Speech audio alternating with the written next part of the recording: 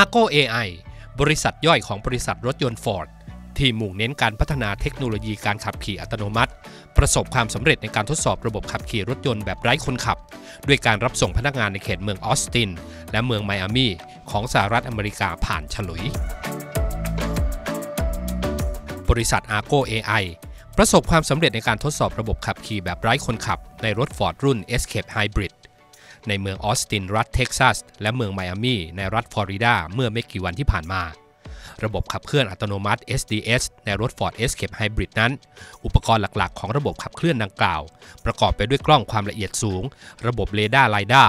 ซึ่งย่อมาจาก Light Detection and Ranging สรุปง่ายๆก็คือ เป็นอุปกรณ์ที่ใช้แสง เพื่อตรวจจับและคาดคะเนระยะทางของวัตถุ ซึ่งถูกนำมาใช้ในรถยนต์ไร้คนขับ และหุ่นยนต์ เพื่อตรวจจับวัตถุในโลกจริง เพื่อสร้างโลกเสมือนสามมิติขึ้น ในระบบเคลื่อนที่นำทาง ที่ทำให้สามารถตรวจจับยานพาหนะอื่น ๆ ของผู้ใช้ถนนได้ ทั้งยังมีระบบตรวจจับเสียงภายนอก และเซ็นเซอร์แรงเฉื่อยที่ได้มาตรฐานความปลอดภัยอุตสาหกรรม โดยระบบขับเคลื่อนอัตโนมัติที่อัดแน่นไปด้วยระบบเซ็นเซอร์และคอมพิวเตอร์ทำหน้าที่เป็นดวงตา หู และสมองของรถ ช่วยให้สามารถตรวจจับวัตถุ ทั้งแบบอยู่นิ่ง และกำลังเคลื่อนไหว ทั้งประเมินความเร็วและทิศทางของยานพาหนะ และผู้ใช้ถนนรายอื่นในบริเวณโดยรอบ และตรวจจับพื้นผิวของถนนที่เปลี่ยนแปลงอย่างต่อเนื่อง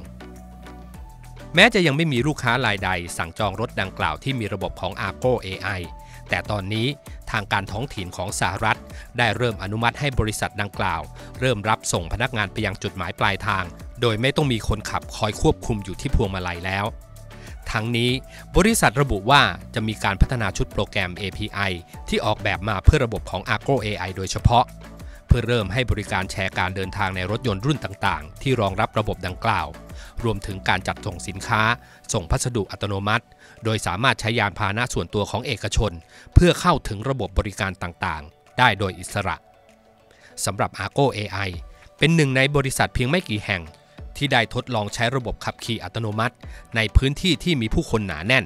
ทั้งนี้แม้จะมีการแข่งขันด้านเทคโนโลยีการขับขี่อัตโนมัติในบริษัทเอกชนหลายบริษัท ซึ่งทวีความเข้มข้นและร้อนแรงขึ้นเรื่อยๆ แต่เจ้าตลาดที่เอาชนะใจผู้คนก็ยังไม่ปรากฏให้เห็นอย่างชัดเจน คงจะต้องรอติดตามผล และความพึงพอใจหลังใช้บริการหลังจากนี้ต่อไป